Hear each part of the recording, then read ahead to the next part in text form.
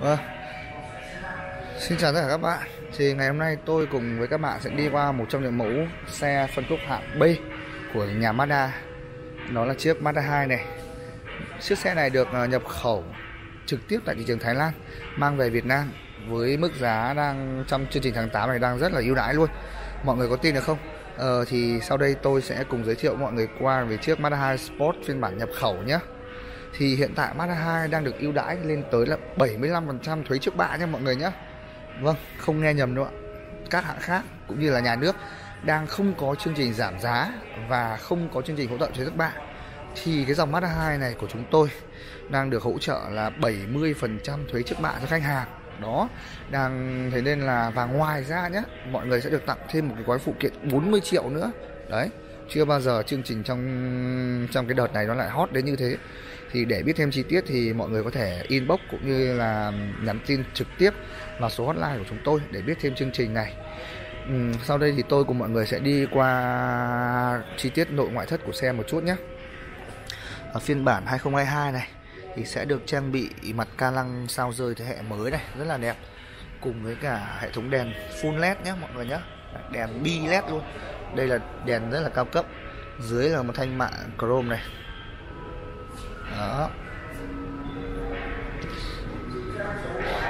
Ờ, la răng to bản như là mọi người nhìn này có giống la răng của Lexus không?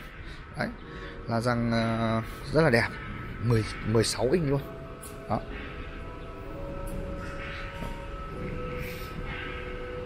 Đây đây là đang đi dọc thân xe này đấy. Bản này chúng ta đang xem là bản uh, hatchback nhé hay còn gọi là bản sport nhé. Đấy. trang bị đầy đủ hết cảm biến camera lùi là hệ thống giải trí Apple CarPlay này. Đó. Cốp. Khá là rộng luôn.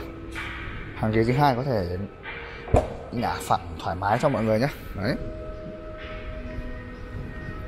rất là sâu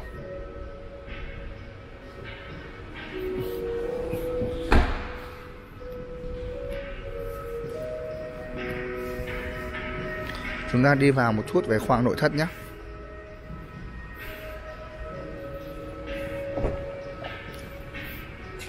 Đây. Xe thì được trang bộ bọc da luôn. Toàn bộ là hệ thống da nên mọi người nhìn này.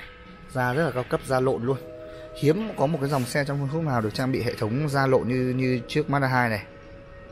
Đó. Có đầy đủ hết các cái phím điều khiển trên ấy này cũng trang bị cả lẫy chuyển số này.